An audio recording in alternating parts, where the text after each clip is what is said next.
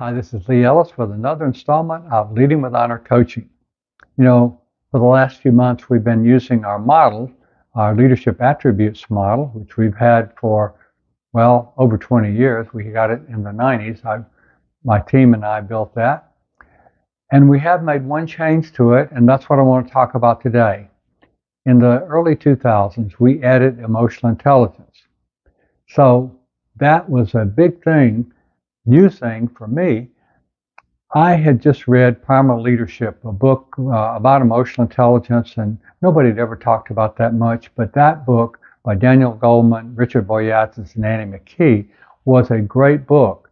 I read it and then I listened to it on audiobook because I just knew that was so powerful and so important because everybody has emotions. We live with emotions. Part of our brain, the amygdala and that part is uh, of our brain is where our emotions are, and they respond very quickly, two to four times faster than our neocortex, which is our logical, intelligent thinking part of our brain.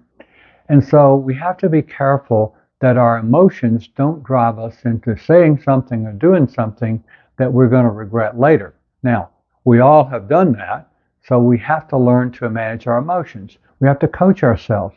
You know, last month when our, we were talking about results relationship and how we're wired mainly for one or the other, 40% one way and 40% the other way.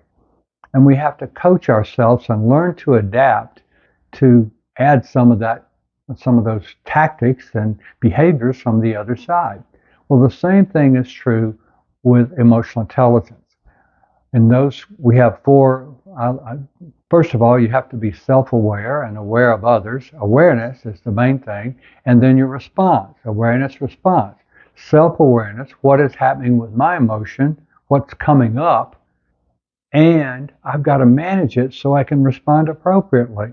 I don't need to yell at somebody right now, even though I may be feeling that way. Or I don't need to go hug them. In this situation right now, it might not work, it might not be good. And likewise, we need to be aware of the response of the response of how others are responding to their emotions, and we need to manage how we respond to them. So when we see that somebody's really happy, we need to respond appropriately. We need to, when we see they're off track and they're uh, concerned or whatever, we need to respond appropriately in a way that's going to be helpful. We have to think that through so remember, uh, you may not remember, but uh, in the old days, people said, you know, when something happens like this emotionally, you got to count to five.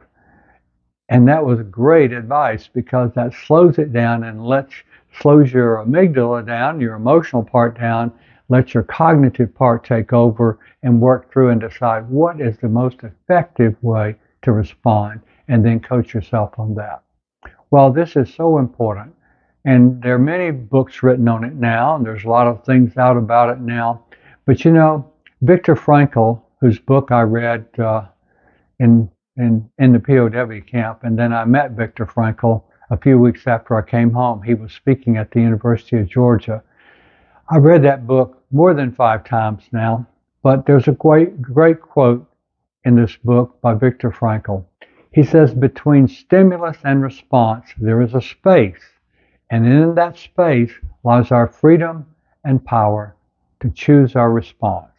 We want to choose that response. And in our response lies our growth and freedom. That is a powerful, powerful coaching piece to remember. That in that space, we have to make a choice of how we respond to somebody else's behavior and our own too. That's it for today. I hope you'll check out the blog and also take a look at the handout that we've provided on emotional intelligence. Thank you. Have a great week. God bless.